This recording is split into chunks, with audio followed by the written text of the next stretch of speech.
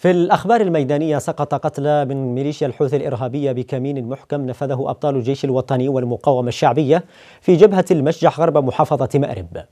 وقال مصدر عسكري للمركز الإعلامي للقوات المسلحة إن الكمين أسفر عن مصرع ما لا يقل عن 15 حوثيا أثناء محاولتهم التسلل إلى أحد المواقع العسكرية المتقدمة في جبهة المشجح